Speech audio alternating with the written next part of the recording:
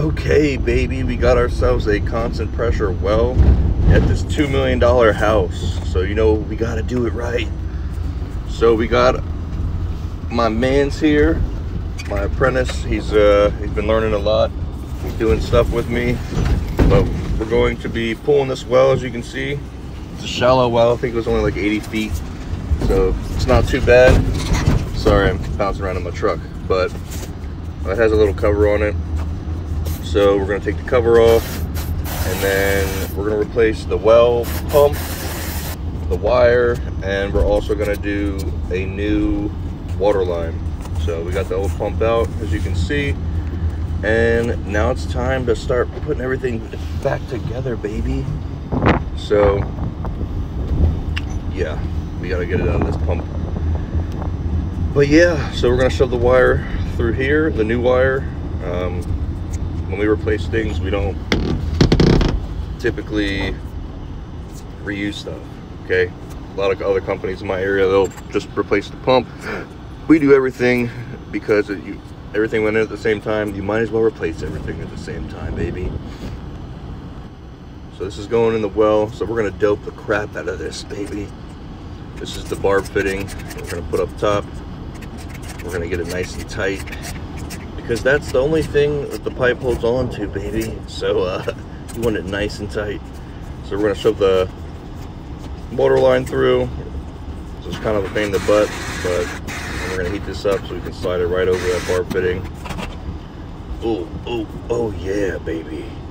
And then you wanna add some clamps. That's what we're gonna do here.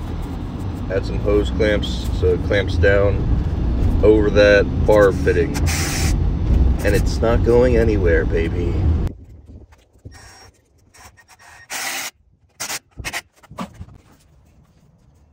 Now it's time to get the wires spliced and hooked up to the pump.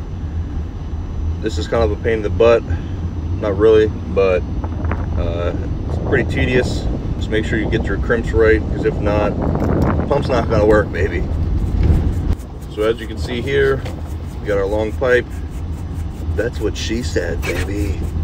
And now I have my man up here. Uh, we're gonna put a new adapter on the pitless adapter a new barb fitting on the pitless adapter, I should say. And now we're gonna heat this one up and we're going to shove her in. Yeah, teamwork makes the dream work. Um, typically, jobs like this, shallow wells, usually do them myself, but I'm teaching, okay? We're teaching people how to do things around here. So, we're gonna get this nice and tight, and then I like to add a bunch of tape around the hose clamps because you don't want those things corroding, okay? Grab that T and I'm gonna start putting this down. Now it's time to shove the new pump down in the hole, baby. So typically it just slides right in. You guys should know about that. A little bit of lube action. Got a Hawk 2 on that thing.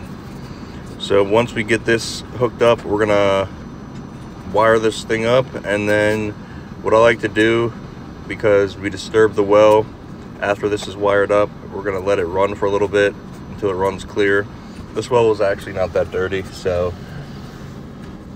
it's uh, not that big of a problem I still just let it run for like five ten minutes just to get some of that uh, nasty stuff out of the way but yeah we're gonna get this thing wired up here we go and look at that water's actually not too bad so we let that run for a little bit and then, yeah, baby, that's pretty much it.